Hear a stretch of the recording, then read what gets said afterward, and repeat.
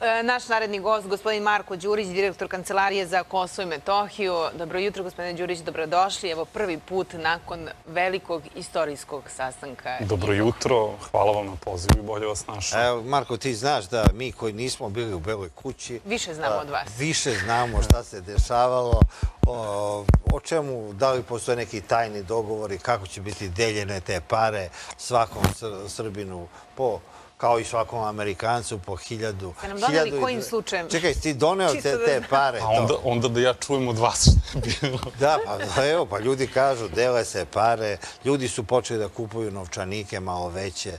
Uh, E, rekao sam i prethodnih dana, zaista to je jedna od laži koje bih voleo da su istine. Nažalost, pare ne rastu na drveću ni tamo. Ali ono što mogu da kažem je da zaista dolazimo sa dobrim paketom e, infrastrukturne, ekonomske, razvojne pomoći za našu zemlju. Mislim da je izuzetno značajno da ulažemo uz pomoć američkih financija i u autoputeve i u železnice i u a, druge veze u regionu, da smo definisali luku Drač kao a, novu luku na koju će naša privreda direktno moći da izlazi na Jadranskom moru. A podsjetit ću vas, to je samo deo rezultata jedne posete Ne znam da si smo- bio tamo. Ma, To je, to je kao nikad bar tako nije izgledao. Tu su trajekti za bari, tu su prekookeanski brodovi. Ja često odlazim tamo i znam kako izgleda Luka Drač. A ja sam više skoncentrisan ipak na staru Srbiju, kako mi volimo da kažemo, ali hoću da vam kažem da je nesumnjivo da je i Drač izuzetno značajan za razvoj naše privrede i hoću da vam kažem da je to samo jedan od rezultata naše posete za koju mislim da niko nije očekivao da će proći suštinski tako dobro. Da budemo sasvim iskreni jedni Dobro, prema drugim. sa velikim, pre nego što strahom smo ušli, razgovarali smo, nije bilo jasno da li je to mini Schengen ili Shenzhen, što ponavlja Richard Grnevo. Sad su ponavljali Albanci, ovde je američki ambasador objasnio da je to ipak mini Schengen, ali Grenell to govori Shenzhen. Ja sam mislio to prirodno čudo u Kini, onaj grad Shenzhen. Pa evo, još jedna mala pikanterija sa sastanaka. Dakle, Albanci su ovaj, pokušali da a, na sastanku insistiraju na tome da nema mini Schengena po svaku cenu. Za njih je to najgore moguće. Oni su stalno, oni su mesecima unazad ponavljali mini Schengen, velika Srbija, to nećemo ni po koju cenu. Onda kada su ih To je Amerikanci... Milo Đukanović govorio onda u kada su ih, onda kada su ih Amerikanci pritisli da prihvate taj mini Schengen i rekli im to je volja predsednika Trumpa lično, ako hoćete da budete naši partneri, prijatelji i sve ostalo, morate da uzmete u obzir potrebu da se u regionu sarađuje i sve ostalo. Onda je jedan od članova prištinske delegacije rekao ne, ne, ne, izvinite gospodo, vi ste nama rekli da ćemo ovde da dogovaramo mini Shenzhen, a ne mini Schengen. I to mrtavo, to i to, i to mrtavo ozbiljano. Onda su se ovi e, stranci, odnosno domaćini, krenuli da se zgledaju.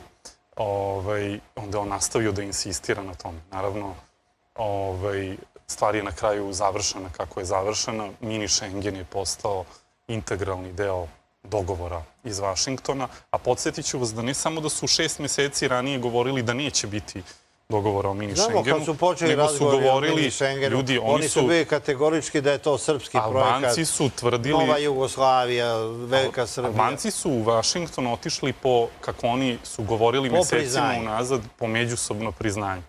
I govoreno im je unapred da je to jalov posao, govoreno im je unapred da srpska strana tako nešto ne može da prihvati, ali istovremeno moram da kažem da nije naivna ni jednostavna stvar tako nešto odbiti na mestu od tolikog uticaja u, Evo u imamo jedan međunarodnim snimak e, od onih snimaka koji su procurali iz Bele kuće, gde vi gledate e, ovaj e, sporazum iz Vašingtona. Nek pustite snimak koji je bio i sad to je ta tačka 10. E, šta piše u tački 10? Da li je to zahtev za međusobnim priznanjem? E, Izašao je Siniša Mali rekao da je to najgori e, plan koji on pročitao, da je to izazvao konsternaciju u Srbiji. A da li ti znaš da je, dok se još niste vratili, počela je kampanja u beogradskim e, nedeljnicima da je trebalo prihvatiti tačku 10, jer tamo ne piše međusobno priznanje, nego priznanje e, etničkih prava. I kaže, vi niste dobro na engleskom shvatili. Da, pa dobro. Biće da ovaj, su i oni u grupi... Jer njima je najvažnije bilo međusobno U priznanje. grupi onih koji shvataju i znaju bolje šta je bilo na sastanku nego ljudi koji su sami učestvovali na svemu tome. Ali ono što hoću da vam kažem je da je zaista u toj desetoj po redu, a one nisu bile numerisane. U tom smislu je uh, ambasador Grenell tehnički u pravu. Nije to bila deseta tačka po numerisanim brojevima, ali je bila deseta po redu u kojoj se govorilo da je... Nije bilo tačka 1, tačka Tako je, 2. nisu bile numerisane, ali deseta po redu od početka teksta je govorila strane se slažu da se međusobno priznaju, zapeta strane će priznati status nacionalnih manjina, rešiti pitanje nestalih i sve ostalo.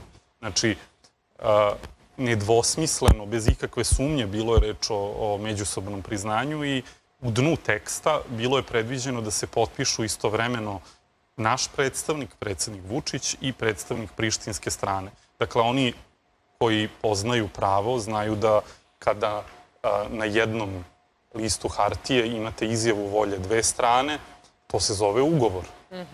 Kada se, Šta je, kada to potpišu ovlašćeni predstavnici, Pošto nema e, potpisa na jednom mi smo papiru. insistirali na tome da se ti dokumenti razdvoje i da ih ne I razmenjujemo. da nema e, potpisa da i srpske i Tako je, albanske znači, strane. nema potpisa i srpske i Jer bi albanske mi strane. priznali, Tako je, e, njima subjektivitet, isti status. I druga stvar, da, ga, da mi te papire ne razmenjujemo sa Prištinom. Nego, Nego da to, sa nego da to damo u formi pri, pisma američkom predsedniku koji je nama takođe dao svoje pismo. Nemojmo to da zaboravimo. Svako je potpisivo za sebe. Predsednik I Trump, Trump, je, i tako je, Vučić, i Hot. Predsednik Trump je dao nama svoje pismo, predsednik Vučić je dao a, predsedniku Trumpu naše pismo.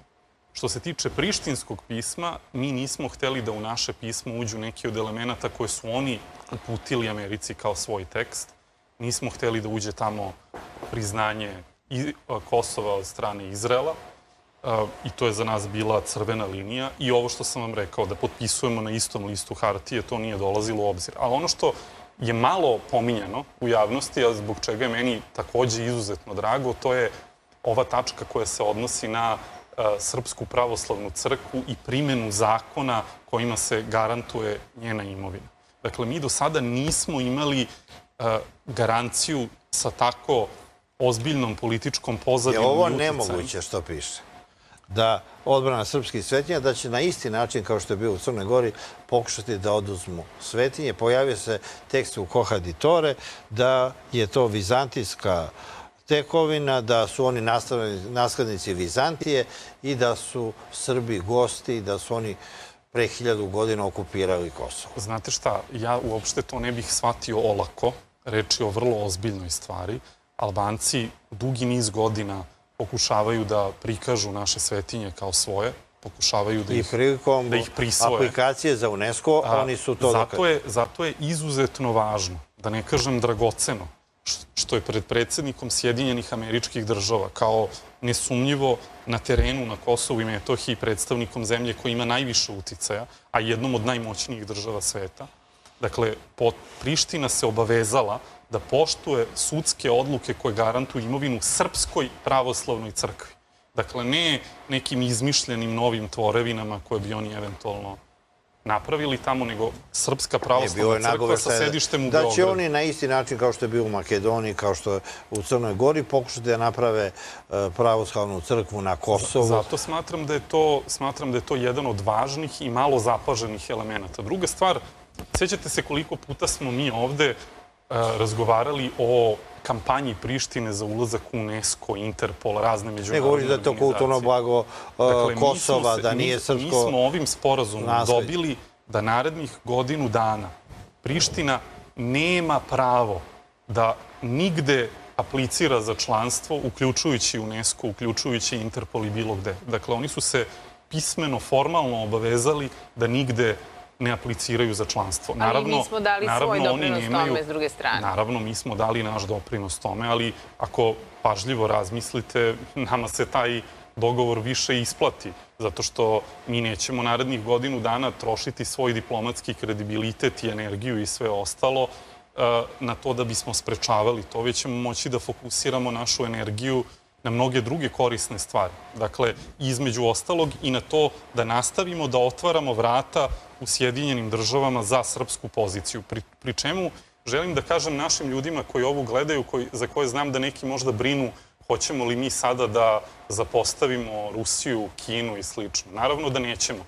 Nismo uh, toliko neodgovorni ili naivni ili bilo šta drugo. Ne pada nam na pamet da se odvajamo od naših tradicionalnih prijatelja i saveznika i zato ste mogli da vidite upravo i razgovor predsednika Vučića najpre sa ministrom Sergejem Lavrovim, a zatim i sa predsednikom Putinom gde se do, u detalje razgovaralo o e, sadržini ovih razgovora, kao što smo o ovim razgovorima pre nego što smo otišli tamo razgovarali i sa našim evropskim partnerima i prijateljima, kao što e, vodimo razgovore stalno i uživamo Ali Marko, evo vidimo da je pre Znači, odlaska u Vašington predsjednik Vučić je primio uh, ruskog ambasadora Bocan Harčenka, pozvao je Angelu Merkel. Uh, ovi se prave kao da oni su uh, iznenađeni sa odlaskom u Belu kuću. Sve su bili obavešteni. Znate šta, naš narod ima različite dovitljive izreke o tome kako je lako tuđa leđa podmetati u neku situaciju, ovaj, ali ono što hoću da vam kažem je a, Srbija se lojalno i pouzdano ponašala prema svim svojim partnerima i zahvaljujući tome što je Srbija zbog svog ekonomskog razvoja, zbog toga što je u prethodnih osam godina uspela da a, od jedne dubioze u privredi Ruskim ambasadom Bocan dođe Harčenkom. Da, ali sa, samo da dovršim ovo, mislim da je izuzetno značajno. Dakle, zahvaljujući tome što je Srbija u ekonomskom i vojnom smislu ojačala u prethodnih osam godina, ona je dobila na značaju u meri da je sa uvažavanjem slušaju na mnogo više adrese. Evo, Marko, i ti si reagovao revoltirano na tweet Marije Zaharove, koja je u ružnom svetku predstavila boravak predsjednika Vučića u Beloj kući.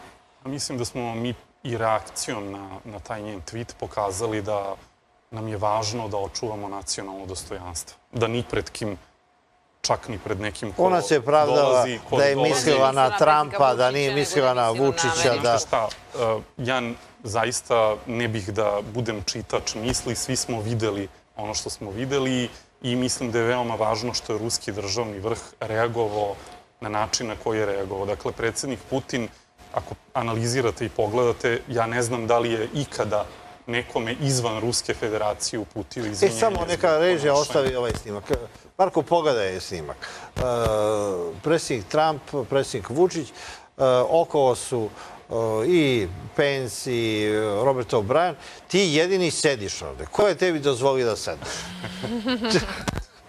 Kao što vidite i predsednik... protekciju ste Čekaj, ti si jedini uh, predsjednik Vučić, predsjednik Trump i ti sedite. Svi stoje ovde. A, ono što hoću da vam kažem je da oni koji nisu mogli da nađu ništa u sadržini samog sporazuma. Ne, napadnuti si što sediš. Zamislite, zamislite koliko su oni se trudili da nađu bilo šta, nisu našli i onda su morali da gledaju kako ko sedi. A predsednik Vučić je prvi srpski lider posle dve decenije koji je ušao u ovalnu sobu. Poslednji je to bio Zoran Đinđić. Kada je srpski predsednik bio, praktično se ni ne pamti, a postojale su tri protokolarne stvari kojima je domaćin pokazao da daje posebnu pažnju srpskoj strani. Jedna je ta što je samo srpska strana imala bilateralni sastanak sa gospodinom Trumpom. Dakle, mi kada smo izašli iz ovalne sobe, u hodniku su ispred stajali predstavnici Prištine sa ovim, eh, da kažemo, poslovnim torbama sa doku- dokumentima svojim. Nisu imali taj sastanak. To je čak bio moment za jednu šeretsku šalu šefa naše delegacije sa njima otprilike, čekajte, kad vi imate, jeste vi imali ili Kad ste vi kod Da. Kad ste vi? Ali, Ovaj, Marko, objavljene su Tako da, to vam karikature. je jedan moment kada je posebna pažnja našoj delegaciji ukazana u odnosu i na drugu delegaciju. Drugi moment je bio taj što prilikom dočeka, dakle, protokolarnog našu delegaciju su na stepeništu sačekao specijalni izaslanik američkog predsednika. Njihovu delegaciju nije sačekao, odnosno sačekali su predstavnici protokola. Marko, I- bio si u Americi. Da. Ovde su prenete karikature prištinskih novina gde e, Vučić izlazi iz Bele kuće sa poklonima, a izlazi jadni, hotin, praznih ruku. E, I njega su na- napadali da je izdao Kosovo, da je e, prodao se Srbiji i ti napadi su e, najbolji dokaz kako je ko prošao. Ja želim da posmatram stvari na taj način da saradnjom ekonomskom svi treba da dobiju. I ne mislim da je tačno to mini Schengen, velika Srbija, samo zbog činjenice da je Srbija najveći proizvođač u našem regionu, najveći izvoznik. Dobro, da jedini tvorac mini Schengena, Da će nesumnjivo srpska A i to privreda nije imati američka korist. stvar, e, Ja mini Schengen. da će, E, e, ovaj snimak. E, ja š- mislim da će... e, šta je ovo? a, mi To je kad ste vi dobili tačku 10. Mi smo veoma pažljivo analizirali... Vi ste analizirali šta to znači. dokument. Je to tačku taj trenutak? tačku. To je, to je, to je, ovo je moment kada mi analiziramo da li je ono što treba da se potpiše istovetno sa onim što smo dogovarali. A to je posle je Dakle, to skinuta tačka. To je, to je kada je skinuta tačka 10 već.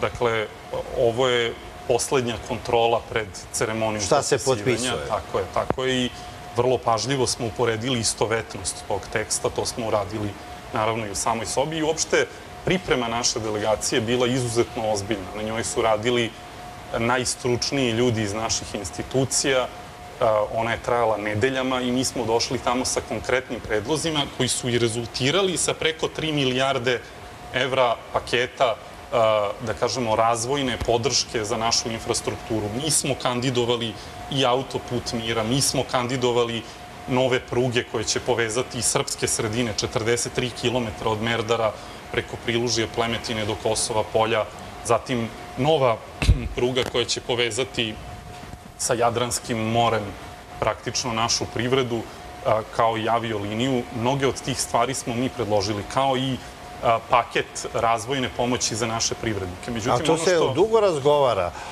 i o mini Schengenu i, i o autoputu. To, e, ovo je samo finalizovano. Ovo je konkretizacija i detaljna razrada. Jer moram da vam kažem da smo mi i ono na šta sam posebno ponosan i čime sam zadovoljan je da će 21.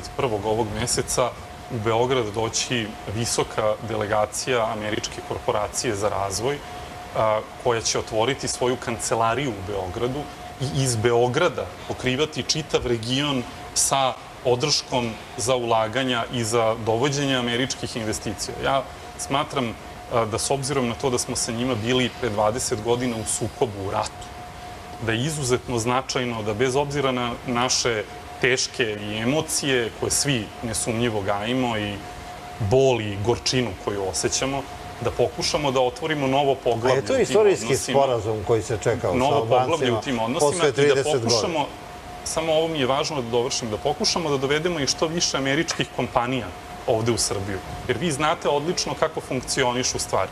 Tamo gde oni imaju svoje kompanije, gde imaju svoje investicije, oni taj prostor tretiraju ipak na jedan drugačiji način.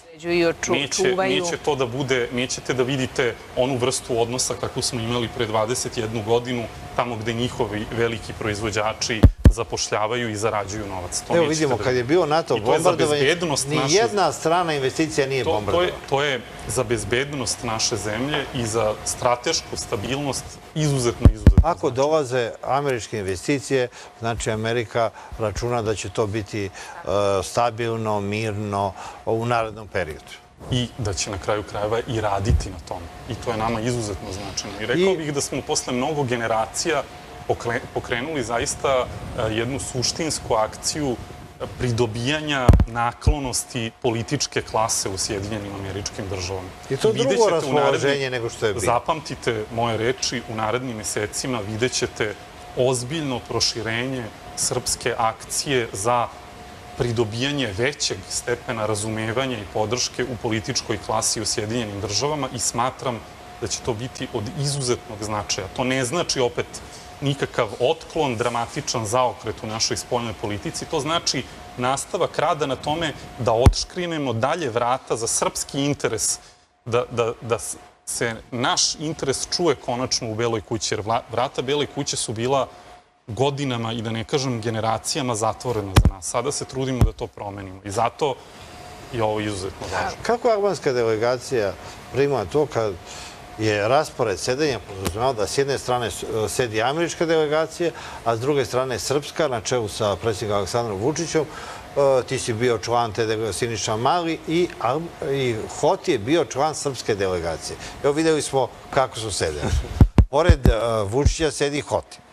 Dobro, ja neću sad da tvrdim da, da su domaćini na bilo koji način želeli da omalovaže protokolarno drugu stranu. One, oni njih priznaju kao nezavisnu državu, to je neka prethodna administracija uradila, ali je činjenica da je srpska strana uvek prva bila pominjana, da je srpski predstavnik uvek sedeo sa desne strane.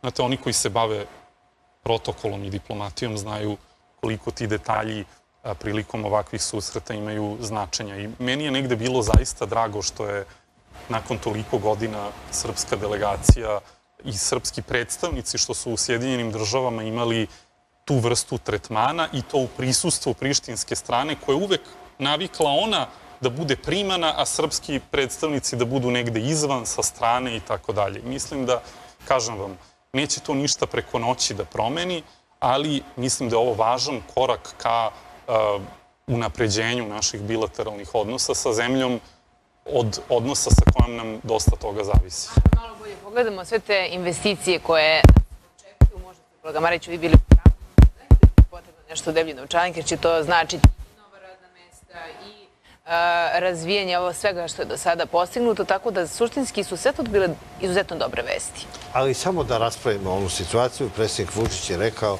da su članovi albanske delegacije vas gledali s mržnjom, da nisu ni, ni razgovarali i kaže, ponašali su se kao Marko Đurić kad gleda Albanac. Ti nisi ništa reagovao u tom času. Da vam kažem jednu stvar. Predsednik Vučić e, je na Napravio tim jednu šalu. On se našalio, ali ja da vam kažem jednu stvar. E, On nikada neće do kraja ni objasniti javnosti, verovatno, a, niti do u svaki detalj biti u prilici da kaže, zato što ne bi bilo ni diplomatično, koliko je na momente i on oštro i vatreno ovaj, argumentima branio srpsku poziciju i slao nedvosmislene poruke e, na koji način sa jednom ozbiljnom zemljom ne može da se razgovara i šta Srbija neće prihvatiti ni po koju cenu i samo zbog toga što je procena, nisu oni ljudi neanalitični i glupi, oni imaju isto službe koje procenjuju i psihološke profile ljudi. Oni su vrlo ispravno procenili da ne postoji teorijska šansa da slome ili nateraju onoga ko predstavlja Srbiju na tom mestu u tom trenutku da prihvati ono što im je bila inicijalna kako ideja. su tebe procenili? Već je ranije u Briselu bilo nesporazuma, Mrko su te gledali, uh, jedan put kad su te Mrko pogledali više nisu ni dolazili uh, i, propali su briselski razgovori. Ti si bio deo te priče. Pa ja sam prethodnih osam godina i četiri meseca učestvovao na preko 200 različitih razgovora i sastanaka. I radio sam to zaista uvek bez, bez ikakvih kalkulacija, ali bez ikakvih kalkulacija.